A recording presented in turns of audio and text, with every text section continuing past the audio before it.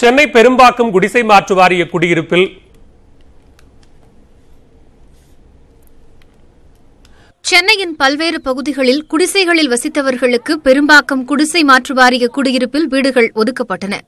அங்கு போதிய பள்ளிகள் இல்லாததால் மாணவ மாணவிகள் சென்னை மாநகர பகுதியில் உள்ள மாநகராட்சி பள்ளிகளில் கல்வியை தொடர்ந்து வந்தனர்.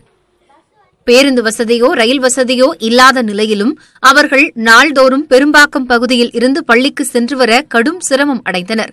நேர விரயம் பாதுகாப்பின்மை போக்குவரத்து நெரிசல் ஆகியவற்றால் மாணவ மாணவிகள் கடுமையாக பாதிக்கப்பட்ட நிலையில் பெரும்பாக்கத்திலிருந்து சிந்தாதிரிப்பேட்டை பகுதிக்கு கடந்த வாரம் மாநகர பேருந்து இயக்கப்பட்டது. இதனால் மாணவ மாணவிகள் மகிழ்ச்சியடைந்துள்ளனர்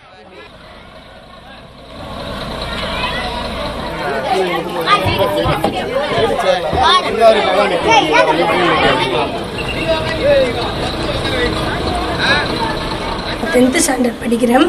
எங்களுக்கு வந்து பஸ் விட்டதுனால யூஸ்ஃபுல்லாக இருக்குது. அம்மா அப்பாவும் போயிட மாட்டாங்க. நாங்கள் இங்கேருந்து பஸ்லேருந்து ஏறி அவங்களே இட்டுன்னு போய் விடுவாங்க அவங்களே இட்டுன்னு வந்து விடுவாங்க. அதனால எங்களுக்கு பயம் இல்லை.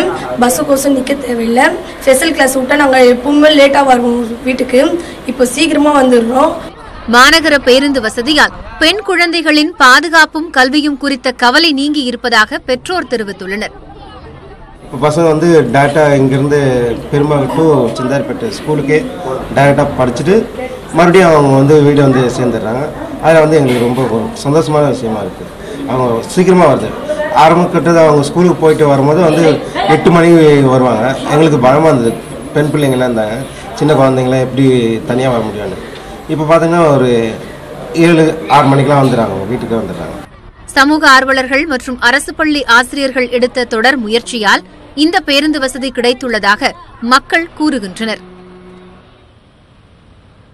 இந்த எளிய மாணவர்களுடைய கல்வி கனவிற்கும் பாதுகாப்பிற்கும் பயனுள்ள வகையில் தமிழக போக்குவரத்து துறை ஏற்பாடு செய்திருக்கும் இந்த பேருந்து வசதியானது அனைவரிடம் நல்ல வரவேற்பு பெற்றுள்ளது.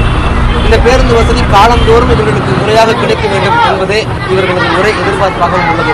நியூஸ் எயிட்டின் செய்திகளுக்காக ஒளிப்பதிவாளர் சேகர் மற்றும் ஜாஃபருடன் வெற்றி